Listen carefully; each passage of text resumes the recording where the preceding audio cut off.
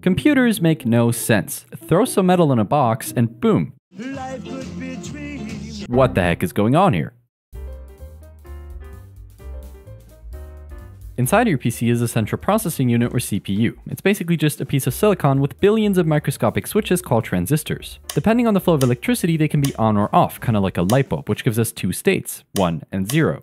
The value at one of these switches is called a bit. One bit by itself doesn't really do much, but put them together and a group of 8 bits is called a byte and can have 256 different combinations of zeros and ones. Congratulations! We can now store information by counting in a system called binary. Every bit represents a power of 2, 1 meaning the power is included and 0 meaning it's not, so this number has 1 times 64, 1 times 4, and 1 times 1, which adds up to 69. This is nice, but for humans, hexadecimal is even better. It's often denoted by this 0x and is simply a more readable format than binary. Four binary bits can take any value from 0 to 15. Hexadecimal uses 0 to 9 and A to F to represent those values, so a group of 4 bits can be replaced by one hexadecimal digit. Okay, now that we can store numbers, we just need the computers to actually, you know, do something with them. Using transistors, you can make logic gates, which are electronic circuits that encapsulate logical statements. You can think of it as a light bulb with two switches, where the light only turns on under certain conditions, for example only if A and B are on. By combining logic gates in a clever way, you can build circuits that perform calculations according to Boolean algebra, which is a system formalizing mathematical operations in binary. But even though computers understand zeros and ones, for humans it's not really all that useful. So, using a character encoding like ASCII, we can assign a binary number to each character. When you type any on your keyboard, it gets translated into this binary code, and as soon as the computer sees this, it says, ah yes, that is a capital A, and slaps it on the screen. How these devices fit together is handled by an operating system kernel like Windows, Linux, or Mac, which sits between computer hardware and applications and manages how they all work together, for example with device drivers. Input devices allow you to give the computer instructions with the press of a button, but at the lowest level, computers only understand instructions in machine code, which is binary code telling the CPU what to do and which data to use. When it comes to following these instructions, the CPU is kinda like a genius, just with the memory of a demented goldfish. It can handle any instructions, but it cannot store any data, so it's only really useful with random access memory or RAM. You can imagine it like a grid, where every box can hold one byte of information, which can be data or instructions, and has an address so the CPU can access it in four steps. Fetch from memory, decode instructions and data, and finally execute and store the result. This is one machine cycle. Since a program is basically just a list of instructions in memory, to run it, the CPU executes them one by one in machine cycles until it's complete. Oh yeah, did I mention that this happens like really fast? Modern CPUs can do billions of cycles every second, which are coordinated and synchronized by a clock generator. The speed of this clock is measured in gigahertz, and people often overclock their CPUs to improve performance, which is nice but might just set your PC on fire. What's even crazier though is that a CPU has multiple cores, which can all execute different instructions in parallel, so at the same time. Each core can also be split into multiple threads, which allows every single core to handle multiple instructions concurrently, so switch between them really quickly. Okay, that's cool, but it doesn't matter how powerful a computer is if you have no way to give it instructions in the first place. Typing machine code by hand would probably make you go insane, but luckily, you don't have to. The kernel is wrapped in a shell, which is just a program that exposes the kernel to the user, allowing for simple instructions in a command line interface with text inputs. But the best way to make a computer do something useful is with a programming language, which uses abstraction so that instead of this, you can write code that looks like this, which is then converted into machine code for you. Some languages like Python use an interpreter, which directly tries to execute the source code line by line. Other languages like C or Go use a compiler, which converts the entire program into machine code before putting it in a file the CPU can execute. Now, every programming language has different syntax, but there's some basic tools almost all of them have. The most basic way to use data is with variables, which assigns a value to a name which can then be reused and modified. Depending on the value, variables can have different data types. For text, there's single characters and strings of multiple characters. For numbers, there's integers which can also be signed if they're negative and floating point numbers for decimal values. They're called floating point because the decimal point can float around to trade off precision with range. This is possible because they use scientific notation. It's some number times a power telling you where to put the decimal point, which is exactly what they look like under the hood. The actual number is stored with binary fractions.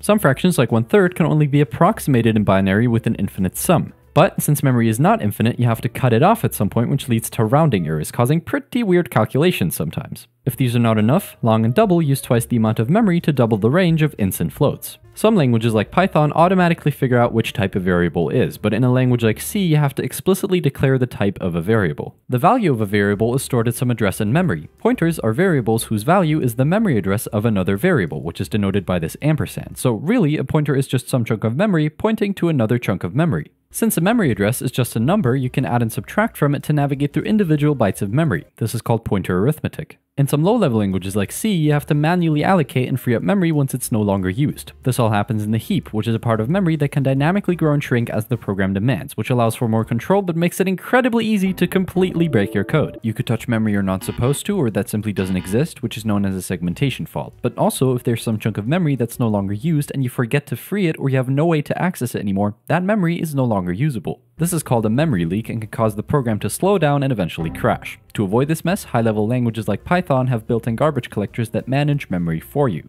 Different data types take up a different amount of memory. Integers are most often 4 bytes of memory, a single character is most often 1 byte of memory, and a string is just multiple character bytes with a null character to signal the end of the string. Storing multiple items in a contiguous chunk of memory like this is the idea of an array. More generally, it's a list of items with the same data type, with each item having a numerical index most often starting at 0. Since the items are next to each other in memory, by knowing the address of the first item you can quickly index to any item in the array by using pointer arithmetic. Arrays are what's known as a data structure, which is just a way to organize data to make it easier to work with. Retrieving values from an array is blazingly fast, but the size of an array is often fixed when creating it, so when it's full you can't add anything, and if you don't use all of it, it's just wasted memory, so a more flexible option is a linked list. It uses nodes containing a value and a pointer to the next node, which allows them to be spread apart in memory. Also, it can grow and shrink dynamically as you can add and remove any node, and you can reorder it by simply rearranging the pointers. This is great, but they can be impractical as you have no way to access the last node except if you traverse every single one before it. But still, both arrays and linked lists are useful as they allow you to create queues and stacks. A stack follows the last in first out principle, just like taking a pancake from a stack.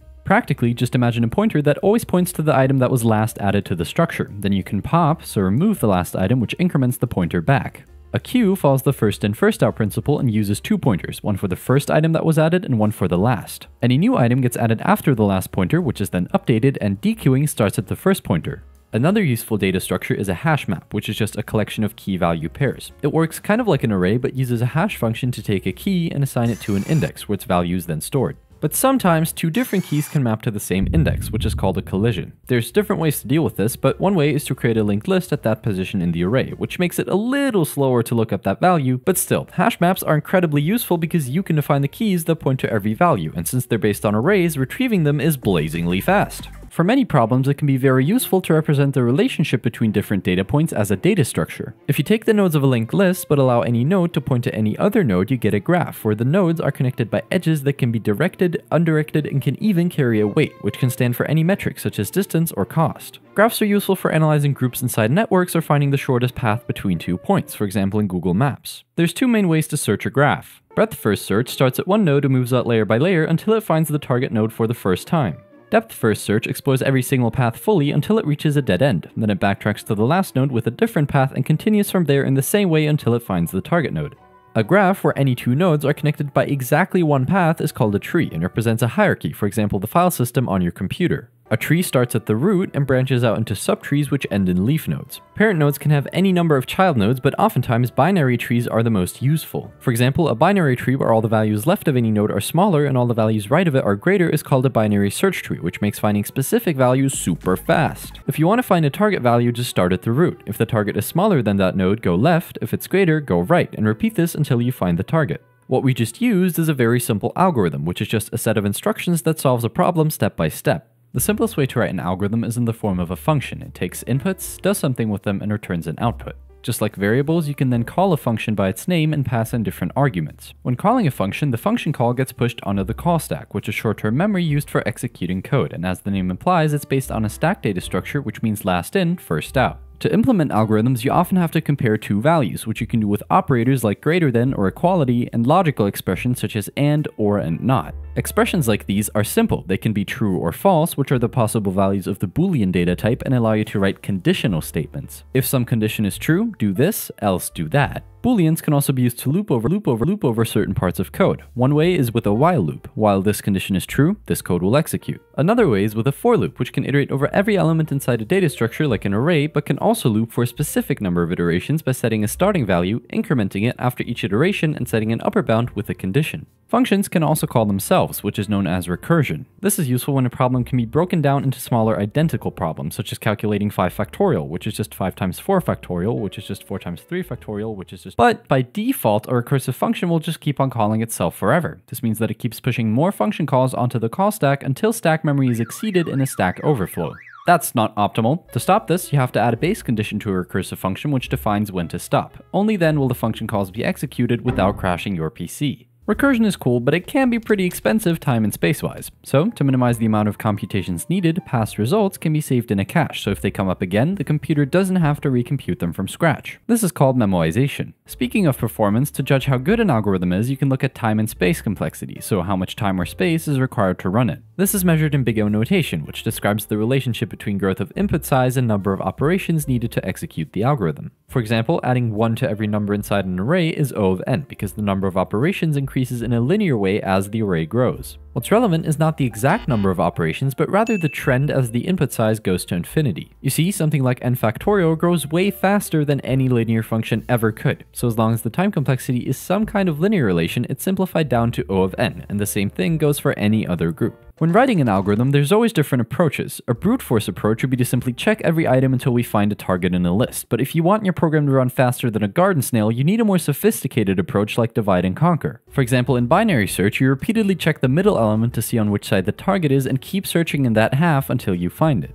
Also, there's different approaches to writing code in general, which are called programming paradigms. Declarative programming describes what the code does, but not how exactly the computer should do it, whereas imperative programming explicitly describes how the computer should achieve a result with detailed instructions. An extension of imperative programming is object-oriented programming, where you can define classes as blueprints for objects, which are single units consisting of data in the form of properties and behaviors in the form of methods. To code a class, you begin by defining the properties as variables and the methods as functions. After encapsulating properties and methods in a class, you can instantiate an object and use the dot notation to work with its properties and methods. Classes make it easy to organize and reuse code because you can define subclasses that inherit properties and behaviors of a superclass but can also extend and override them. For example, a rubber duck subclass might implement quack with a squeak instead. As a result, rubber ducks can be treated as objects of the duck class but behave differently when quack is called, which is the concept of polymorphism. But for some problems, none of these traditional paradigms will work. Let's say you want to make a computer recognize which of these images is a bee. The problem is,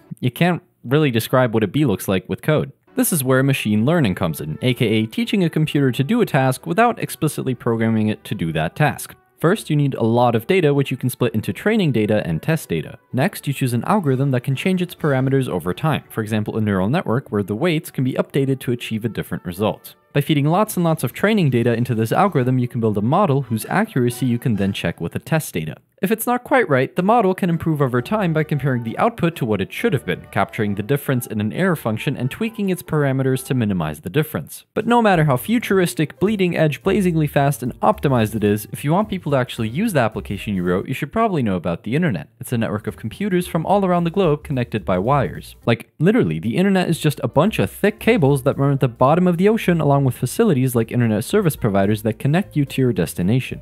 These computers communicate with the Internet Protocol Suite. Every computer on the network has a unique IP address, and two computers can then transfer data with a transmission control protocol. It breaks messages into a bunch of packets, sends them through a network of wires before the receiving end puts the message back together. If you have a poor internet connection, you might have experienced packet loss, which is just if some of these packets get lost along the way. If the internet is the hardware, then the web is the software, which you can use with a browser. Every page on the web has a URL. When you type it into your browser, it looks up the IP address of the server hosting this website with a domain name system, which is like a dictionary mapping domain names to IP addresses of actual servers. After connecting to it via TCP, your browser, called the client, uses the hypertext transfer protocol to send an HTTP request to the server, which then gives a response ideally containing the contents of the web page. The actual website most often consists of three parts. An HTML file contains all the content of a website and is basically just a collection of elements, which can be text, links, buttons, and so on. A CSS file controls the visuals and makes a website look nice. But a website is useless if pressing nice looking buttons does nothing, so a language like JavaScript adds functionality. But sometimes things can go wrong. With every HTTP response comes a response code, which carries information about the status of the response. For example, 200 means OK, and anything starting with 4 is an error, the most famous one being 404 page not found. HTTP requests can carry different methods, for example, get, post, put, and delete, so retrieve, add, update, and delete information. These are often used by application programming interfaces, which connect to applications and allow them to interact with each other, for example, store and retrieve data from a database. The most common type of database is a relational database, which uses tables to store data. Columns of a table contain different attributes, and rows represent individual data points. Also, each table has one unique attribute called the primary key. A foreign key is the primary key of another table, establishing a relationship between the two. In this case, each book is connected to an author. With a language like SQL, you can write statements to work with data from these tables. You could look up the titles and authors of all books whose title starts with an H, but for that we have to join the authors table with the books table on the matching key to combine two attributes from different tables into one, giving us this output. These statements are useful, but you gotta be careful or you might just delete an entire database with one line of code. But don't worry, that's never happened before. Behind every login page is a database with usernames and passwords. When a user tries to log in, an SQL query is often used to check if the user input matches with an entry in the database. That's good, but a devious actor could type something like this, which changes the query by terminating the string early and commenting out the rest, which means as long as this username exists in the database, access is granted. This is called an SQL injection attack, and it's one of the easiest ways hackers get places they're not supposed to. Hearing about these concepts is one thing, but to really learn them, you have to see them in action and use them yourself, which is exactly what you can do with Brilliant, which has thousands of interactive lessons for everything from math and data science to programming and AI. They make knowledge stick with visual lessons and interactive problems, which is not only fun and builds intuitive problem solving skills, but also proven to be six times more effective than simply watching hours of lectures. I know that making time to learn new skills can be difficult, but Brilliant makes it so easy. You can build valuable knowledge from the ground up in just a couple minutes a day with bite sized lessons from any device, anywhere, anytime. You'll go from the basics of data science to analyzing real datasets from Spotify in absolutely no time, which you can supplement with math fundamentals and programming courses in Python to build one of the most in demand skill sets of our time. The best part? You can try everything Brilliant has to offer for free for a full 30 days by visiting brilliant.org slash wacky science. You also get 20% off an annual premium subscription. Thanks to Brilliant for sponsoring this video.